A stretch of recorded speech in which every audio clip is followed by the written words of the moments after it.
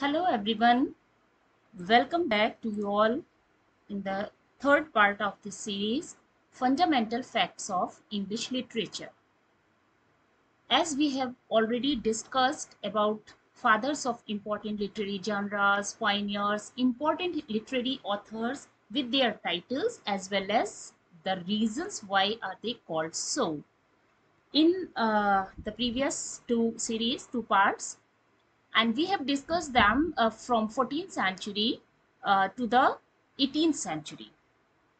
And here we are going to start with the advent of novel in the 18th century. Now this is the first thing which we are going to discuss today. Actually this is debatable which one is considered the first novel because first novel has not been absolutely unanimously determined yet. George Saintsbury declared Pamela the first novel in English history. The reason behind it that this epistolary novel inaugurates a whole tradition in the English novel. Virtue Rewarded is another title of Pamela.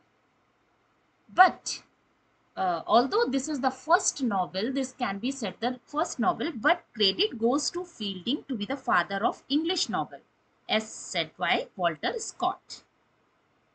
The reason behind it is that for the first time he formulated the techniques of writing novel in the prefaces of uh, Joseph Andrews and Tom Jones. And except it, Walter Scott was himself called the uh, father of historical novels in English. In the history of English novel, it is very well known fact that four novelists are known uh, as the four pillars or the four wheels of English novels. They are respectively Henry Fielding, Samuel Richardson, Laurence Sterne and Tobias Smollett. In the last of 18th century, the history of English literature has seen the transition in literary concepts. Thomas Gray was the great transitional poet because he showed, this is to be noted, why is he called the transitional poet? Because he showed his merit between the neoclassical and romantic age. It is said that he began his career as classical but ended as a romantic poet and in this reference he can be called one of the precursors of romantic era. At that time, romantic poets revolted against the poetic rules and regulation of 18th century. Wordsworth along with Coleridge released lyrical ballads in 1798 which set the tone for the romantic age. This was the reason that Wordsworth is called the father of romanticism. Clear? He is honored with many titles as the poet of nature, as, uh, as said by Shelley, highest priest of nature, as said by Arnold, and he declared himself as the worshipper of nature. Do you know in which poem? In his poem, Tintern Abbey. Actually, long before the scientist J.C. Bose declaration that plants have life, Wordsworth had already felt the omnipresence and omnipotence of nature, so paid the highest tribute to it by spiritualizing nature in his poems. He has spiritualized the nature. That's why he is known as the poet of nature. Now, Keats addressed him as a poet of egotistical sublime. According to Keats, artists of fixed opinions suffer from egotistical sublime and remained obsessed over singular truths. So now what happened that Browning went to the extent of calling him the lost leader and Shelley called him a moral eunuch. It seems something bizarre. It seems something strange. Why uh, were these titles entitled to him? As you know that Wordsworth was deeply influenced with French Revolution and its impact was seen in his life and poetry. In, uh, try to understand it clearly. So French Revolution had a great effect upon the works of Wordsworth. In 1792, he found that conservative opinion in England is strongly against the revolution. His moral nature received a terrible shock when England's disillusionment with France was complete and he became Tory. Tory means conservative. So because of this lapse from his high idealism causes to earn such titles for him. Do you understand that? He is one of the Lake poets it was the group of three English poets who all lived in the Lake District of England. They were Wordsworth, Coleridge and Robert Southey. So that's why they are called Lake poets. Another romantic poet, Coleridge, was the high priest of romanticism. Now, whereas Wordsworth deals, what is the difference between Wordsworth and Coleridge's approach to nature? Where, whereas Wordsworth deals with the spiritual aspect of nature, Coleridge deals with the philosophical aspect of supernatural. He chooses this unique field just to describe just to describe what is unseen and beyond nature. But in spite of creating horror, he skillfully handles the species of supernatural whose essence is entirely psychological. He is famous as an opium eater also. It is said that uh, he was in great need of some financial success with his poetry. So he intentionally attempted to portray himself as a dreamy opium eater because he believed that it would draw morbid fascination to his work. Next, we'll discuss about John Keats, another uh, one of the great poets of romantic era he who died at the age of 26 only 26 due to tuberculosis at first time he defines his own identity as a chameleon poet. Chameleon. This creature has been used in figurative sense to describe a form of self endowed with ability to change. I think that it should be known to all.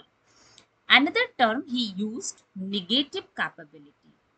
In 1870, just to explain uh, just to explain the capacity of the greatest writers to pursue a vision of artistic beauty even in intellectual confusion and uncertainty without any irritable reaching after fact and reason.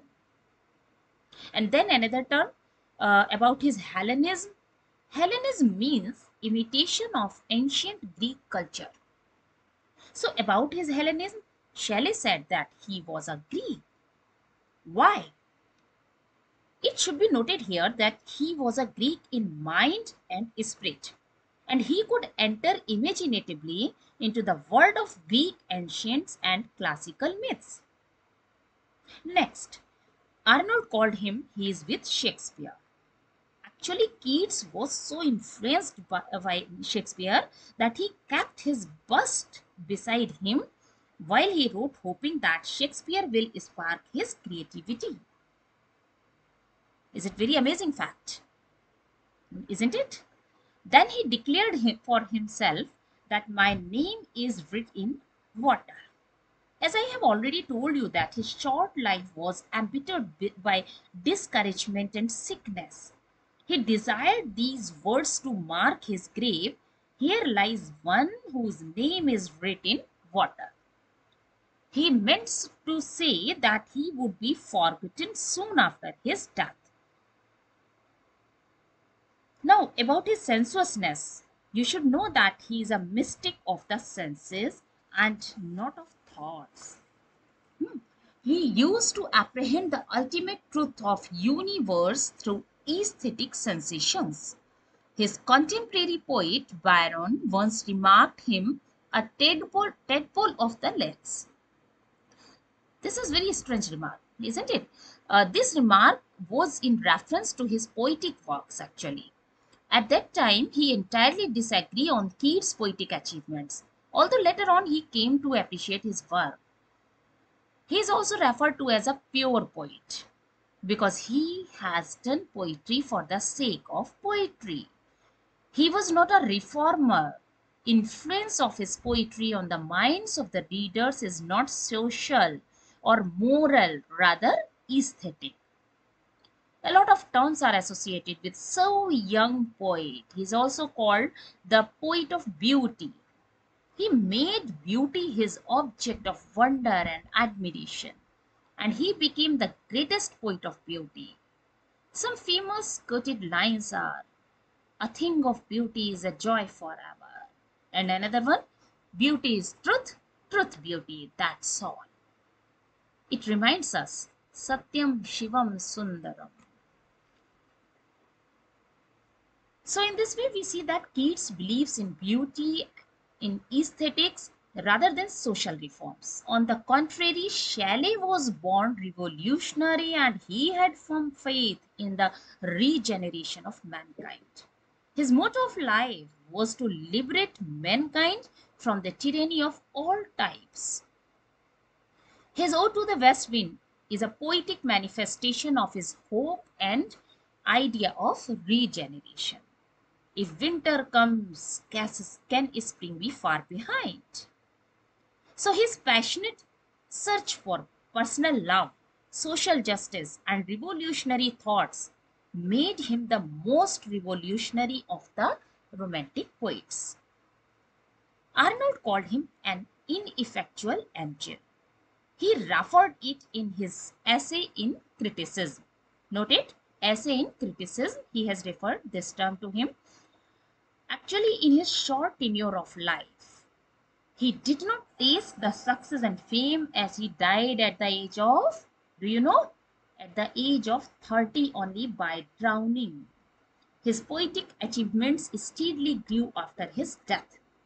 That's why he is described as an ineffectual angel beating in the void his luminous wings in vain.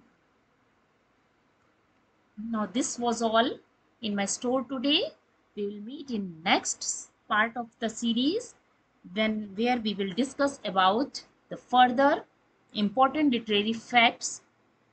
Till then, take care. Thank you.